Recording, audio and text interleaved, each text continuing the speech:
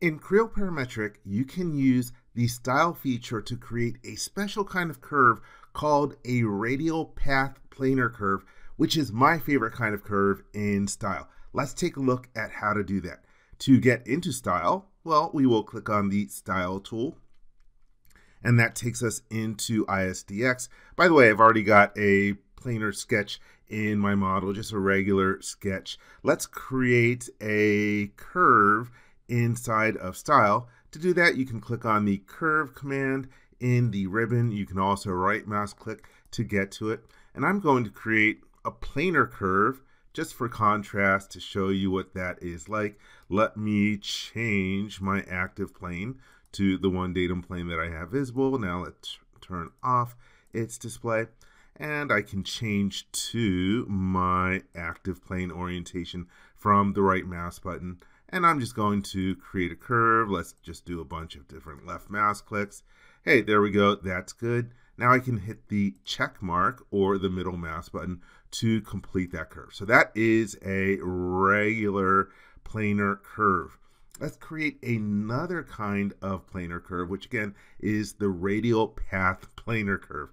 So to create that, once again, we will start the curve tool and I'm creating a planar curve but instead of using a plane as the reference, you're going to select a curve as the reference. And you'll notice that the location of the active plane has changed. It creates essentially an internal plane, which is through the point, but normal to the curve at that point. And so there you can see how we can sketch it. And if I want to lock into the curve or any one of these curves, I will hold down the shift key and then click on the entity.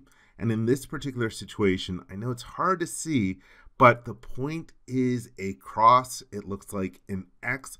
That indicates that it is a fixed point because there's only one possible location that is the intersection of the curve and the active plane. And then I will do some left mouse clicks, left click here, left click here. And then to lock into this other curve that I created, once again, I will hold down the shift key and then click on the curve. And there you can see what it looks like. Let me use the middle mouse button to complete the curve. And then, oops, let's hit the middle mouse button. Then I can double click on it again if I want to do some tweaking. Say, ah, let's move this point over here.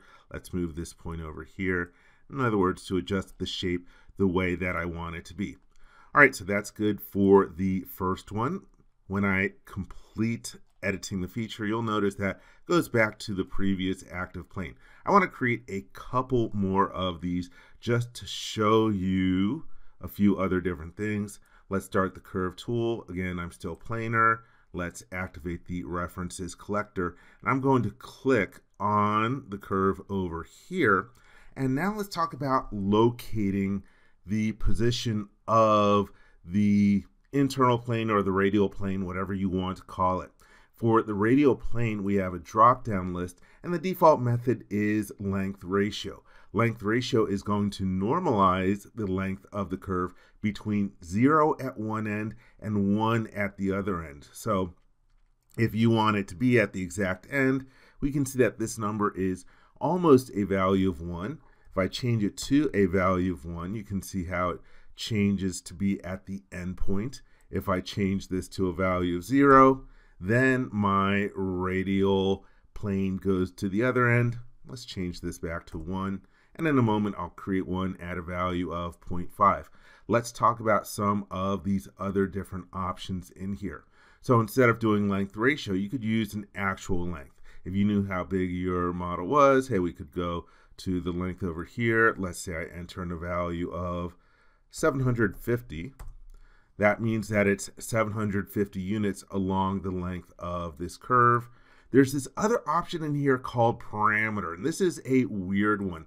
With parameter, if you actually look up the definition of this parameter in Creo Parametrics Help, it says, oh, it defines the location of the radial plane using the parameter. And again, it's like, hey, you're not allowed to use the word in the definition. I really don't know what this parameter means.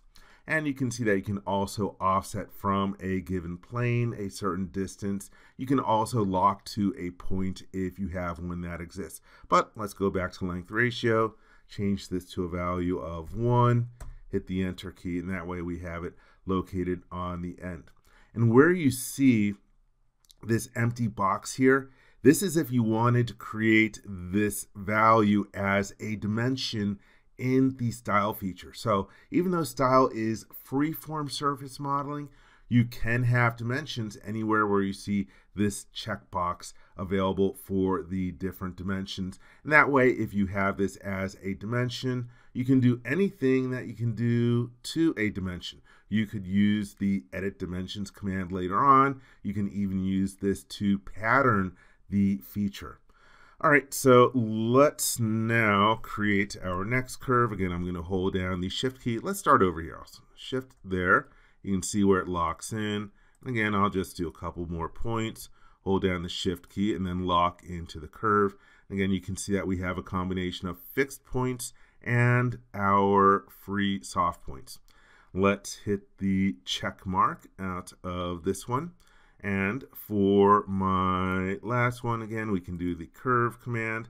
Let's go to the references and activate the collector and pick on the curve. And you can see how the radial plane changes. Hey, let's point, put in a value of 0.5 for the length ratio. So it's exactly halfway along. And then I can do the shift key and click here. And then again, a couple other clicks. And let's hold down the shift key and click on there. And in this particular situation, I got a point that is an empty circle because this is essentially on the same plane as that first planar curve that I created. If I hit the check mark and then double click on the curve, you'll notice that I'm able to move this along here in order to change the shape. And let's take a look at some other ed editing. We have our tangent bar, so I can grab this and use it to manipulate the shape even further. Maybe I want it to be there. Hey, for this one over on the other end, you can right click on the tangent bars and you can see all the different available choices. Let's go to vertical if I want the tangent bar straight up. And let me hit the check mark for a second. I'm going to turn off the display of the active plane. Let's go to the operations overflow menu and then let's go to preferences and turn off the display of the grid. Hey, when it's not working for you, turn off its display. All right, so that's good for that one. And again, you can double click on the various different curves and say, hey, let's select the tangent bar over here. And maybe I want this one to be horizontal. This one over here, maybe I want this to be vertical.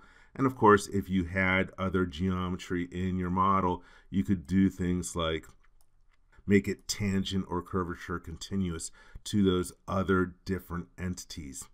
And also with your tangent bar, let's go to the tangent tab on the dashboard. You can also manipulate the length of the tangent bar. So how long do you want it to stay vertical in here in order to get the shape that you want. All right, let's hit the check mark over there. Ah, I made that one kind of ugly, but that's okay.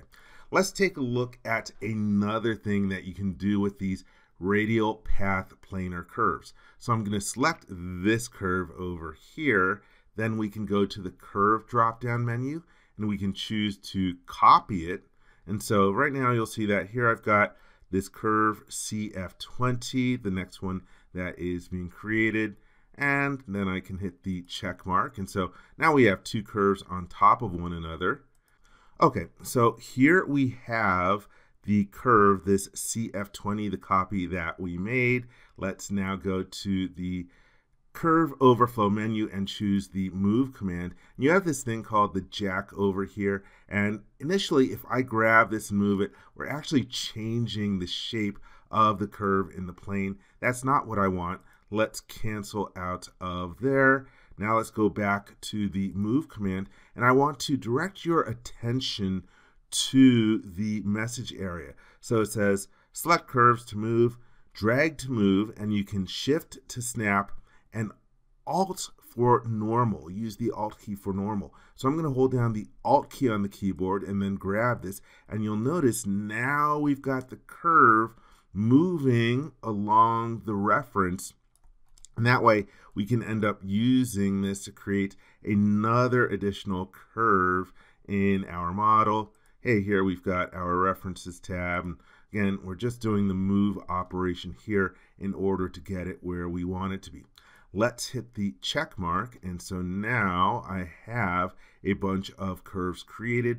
And where I end up using these radial path planar curves the most is when I am working on surfaces and I use them a lot as the internal curves. Let's take a look at creating a surface using these different curves. So I will hold down the right mouse button to get to the surface command a little quicker way of getting to it than going to the ribbon. And now I'm going to select the curves that I want to use. So I will select this as my first curve. Let me show you the references tab. And again, when you're creating a surface in ISDX, you're going around the loop in terms of selecting your references. It's a little different than creating a boundary blend in standard mode where you select curves in one direction and then curves in a second direction. So now I'm going to hold down the control key and let's pick another boundary. And then I'm holding down control and selecting this curve over here. You'll notice that right now it's using the entire length of the curve. I can still hold down the control key and select this other different entity, but be aware that if you wanted to, you could drag this so that you're not using the entire length of the curve.